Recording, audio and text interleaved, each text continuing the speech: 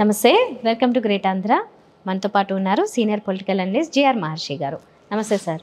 నమస్తే చందన్ గారు. సార్ చంద్రబాబు నాయుడు గారు కుప్పంలో మాట్లాడుతూ అధికారులతో ఒక మాట అన్నారు. ఏంటి అంటే అనవసరంగా కేసులు అవన్నీ ఏమీ పెట్టద్దు. చట్టపర్యంగా ఏదైతే అదే చేసుకుపోవాలి కక్ష సాధింపు చర్యలు ఉండద్దు అనేది ఆయన ఉద్దేశం. మరి ఇది తెలుగుదేశం వారికి మాత్రమే వర్తిస్తుందా? లేకపోతే అంటే ఈ కేసులు లేకపోతే పగ తీర్చుకోవడాలనే మనం చూస్తున్నాం రాష్ట్ర వ్యాప్తంగా. ఎక్కడెక్కడ ఎలాంటివి జరుగుతున్నాయి అన్నది ఇక ముందు మారుతుందా? లేకపోతే ఇక ముందు అలాగే ఉంటుందా? ఓన్లీ తెలుగుదేశం వా వాళ్ళకి సంబంధించిన వాళ్ళ మీద మాత్రం కేసులు పెట్టకుండా ఉంటారా? అంటే ముఖ్యమంత్రి గారు చంద్రబాబు నాయుడు గారు ఆ రకంగా పాజిటివ్ సంకేతాలు ఇవ్వడం అనేది మంచి విషయం. ఆయన ఒక ముఖ్యమంత్రిగా పోలీసు అధికారులను ఆదేశించడం అనేది అది కింది అధికారులు అన్ని అన్ని స్థాయిల్లో ఉన్న అధికారులకు కూడా ఎంతో కొంత అలర్ట్గా ఉండే అవకాశం ఇస్తుంది. అంటే మనం పూర్తిగా తెలుగుదేశం నాయకులు చెప్పిన మాటే వినకుండా మనం కొంచెం చట్టం ఏం చెప్తుందో దాని ప్రకారం పోదాము అని అనుకునే అవకాశం ఉంది. అయితే నిజంగా అంటే గ్రౌండ్ లెవెల్లో ఇప్పుడు ఆయన చంద్రబాబు నాయుడు గారు చెప్పినా ఇంకోరు పవన్ కళ్యాణ్ గారు చెప్పినా హోమ్ మినిస్టర్ గారు చెప్పినా గ్రౌండ్ లెవెల్లో వేరే ఉంటాయి. గ్రౌండ్ లెవెల్లో ఏమవుతుందంటే అక్కడున్న స్థానిక నాయకుల ఒత్తిడి వీటి మేరకు అవతల పార్టీ మీద కేసులు పెట్టడము అవతల పార్టీ వాళ్ళని వేధించడము అనేది జరుగుతుంది. పూర్తిగా లా అండ్ ఆర్డర్ ప్రకారము జరిగే అవకాశాలు తక్కువ. ఒకవేళ జరిగింది అనుకోండి అది మంచి మంచి విషయం. ఎందుకంటే వేధింపులు ఉండవు వైసీపీ కార్యకర్తల మీద అని చంద్రబాబు నాయుడు గారు ఒక రకంగా ఇండైరెక్ట్గా చెప్పారు. అనవసరంగా మీరు కేసులు పెట్ట వేధింపు కేసులు పెట్టకండి అని. ఇది మరి ఎంతవరకు వర్కౌట్ అయితే ఒకవైపు ఏమో వైసీపీ నాయకుల మీద లేదా కార్యకర్తల మీద దాడులు జరుగుతున్నాయి ఇంకో చోటేమో విగ్రహాలు కూలగొడుతున్నారు. దానికి అవన్నీ కూడా ఎన్ని- ఎన్నికలకు సంబంధించినవి కాదు కదా. రాజశేఖర రెడ్డి గారి విగ్రహాలు అక్కడక్కడ కూలగొట్టడం అనేది అదేమి ఎన్నికలకు సంబంధించిన వ్యవహారం కాదు. ఇట్లా విగ్రహాలు కూలగొట్టుకుంటూ పోతే ఏమవుతుందంటే వాళ్ళు వీళ్ళు వీళ్ళు వాళ్ళు కొట్టుకుంటూ ఉంటారు. పోలీసులు ఏం చేయాలంటే yeah as per rules Chandrababu Naidu గారే చెప్తున్నారు కాబట్టి యాజ్ పర్ రూల్స్ వాళ్ళు ఎక్కడ ఎలా ఎవరిది తప్పు ఉంటే వాళ్ళ ప్రకారం వెళ్ళడము వెళితే బాగుంటుంది. కానీ వెళతారా అనేది ఒకటే ఇక్కడ క్వశ్చన్.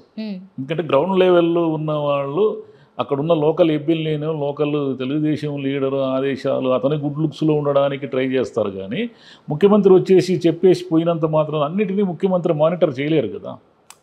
ఒక ఒక మండల కేంద్రంలో ఏం జరుగుతూ ఉందో ముఖ్యమంత్రి గారికి ఎలా తెలుస్తుంది? కాబట్టి ఆ మండల కేంద్రంలో ఉన్న తెలుగుదేశం నాయకులు ఈ వేధింపులు చేయకుండా ఉండాలి అని అనుకుంటే తప్ప అది మారదు. కాబట్టి మారుతుందేమో చూద్దాం. మంచి ఇప్పటికైతే ఓకే అక్కడక్కడ జరిగాయి కానీ దాన్ని ఏమో ఒక ఉద్యమంలాగేం తీసుకొని పోలేదు.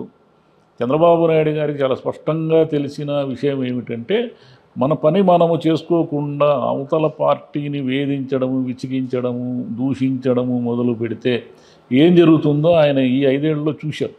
వైసీపీ వాళ్ళు ఎలా తమను తాము డౌన్ఫాల్ చేసుకున్నారు ఎలా కింద పడ్డారు వాళ్ళు నోటి దురుసుతనము ఇవన్నీ కూడా ప్రజల్లో ఎందుకు ఆ రకమైన విరక్తి కలిగించింది అనేది చంద్రబాబు నాయుడు గారు గమనించారు.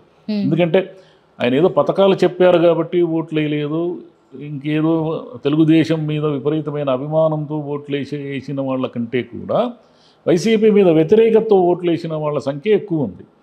కాబట్టి ఈ ఈ విషయం ఎవరికి తెలిసినా తెలియకపోయినా చంద్రబాబు గారికి తెలుసు. ఎందుకంటే ఆయన ఒక నలభై ఏళ్ళకు పైగా ఎన్నో రాజకీయాలు చూశారు కదా.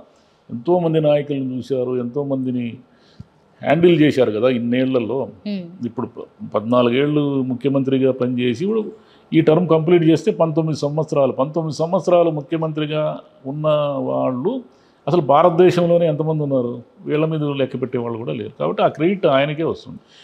లా అండ్ ఆర్డర్ను కూడా అలాగే వేధింపులు ఏమీ లేకుండా నార్మల్గా కనుక పెడితే ఆ క్రెడిట్ కూడా ఆయనకే వస్తుంది. అయితే ఇది కుప్పంలో చెప్పారు కాబట్టి అక్కడ వారికి చెప్పారు అనుకోవచ్చా? రాష్ట్ర వ్యాప్తంగా ఇది అప్లికేబుల్ అనుకుంటే వాళ్ళందరూ అలర్ట్ అవుతారా అధికారులు? ఆయన కుప్పంలో చెప్పారు కానీ రాష్ట్ర వ్యాప్తంగా అది అప్లికబుల్ అయితే మంచిది. ఎందుకంటే చంద్రబాబు గారే చెప్ ఫలానా చోట చెప్పారు అనేది పోలీస్ అధికారులందరూ కూడా. ఓహో వీళ్ళు పని కట్టుకొని తమ మీద అంటే పోలీస్ అధికారుల మీద ప్రెజర్ పెంచితేనే వాళ్ళు ఈ తప్పుడు కేసులు పెట్టేది. ఏ పోలీస్ అధికారి ఇంటెన్షనల్గా ఫలానా పార్టీని వేధించాలనే ఉండడు. మరీ ఆడుకోరు అభిమానుల అధికారులు ఎవరైనా ఉంటే తప్ప. అతను ఏం చేస్తాడంటే ఈ ప్రెజర్ ఎక్కువైతుంది వీళ్ళకి. ఎమ్మెల్యే నుంచో ఇంకోరి నుంచో ఇంకోరి నుంచో ప్రెజర్ వచ్చినప్పుడు ఆ ప్రెజర్ను భరించలేక ఈ కేసులు పెడతారు.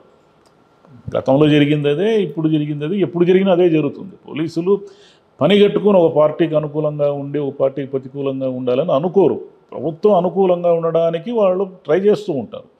కానీ వీళ్ళు వీళ్ళు ఏం చేస్తారంటే విపరీతంగా వాళ్ళ మీద ఒత్తిడి పెంచితే వీళ్ళు ఒకటి చేయమంటే వాళ్ళు పది చేస్తారు. ప్రభుత్వానికి చెడ్డ పేరు వాళ్ళు ఎందుకు తెస్తారంటే పోలీసులు.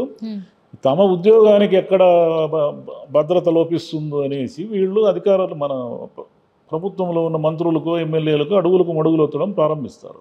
అలా మొదలవుతుందన్నమాట. అలా మొదలైన పతనం ఇంకా అది ఆగదు. మళ్ళీ నెక్స్ట్ పార్టీ వచ్చినప్పుడు ఓహో మీరు ఫలానా పార్టీకి పనిచేశారు కదా అని వీళ్ళందరినీ వేధించడం మొదలు పెడతారు. అయితే ఇది అధికారులతో ముందు ప్రభుత్వంలో వాళ్ళు అధికారులని నిష్పక్షపాతంగా పనిచేయనిస్తే చాలా సమస్యలు విరుగుడు వస్తుంది అదే అంటున్నాను సార్. ఇది ఎమ్మెల్యేలకి ఆ స్థానిక ఆ, లీడర్లకి కూడా చెప్పాలన్నమాట. ఎందుకంటే అధికారులకు చెప్తే అధికారుల మీద పైన ఉన్న ఆ లోకల్లో ఉన్న నాయకుల ఒత్తిడి వస్తే మళ్ళీ వాళ్ళు చేయగలిగేది ఏమి ఉండదు కాబట్టి ఒక సమావేశంలో వాళ్ళ మీద కూడా మాట్లాడుకుంటారు ఎమ్మెల్యేల మీద కూడా ఎట్లాంటి ప్రెషర్ ఉంటుందంటే అప్పుడు వాళ్ళు మనల్ని జైల్లో పెట్టించారు కదా మీరు ఏం చేస్తున్నారు ఇంకా వాళ్ళని జైల్లో పెట్టించుకోకుండా అంటారు అంటే అప్పుడు చేశారా లేదా?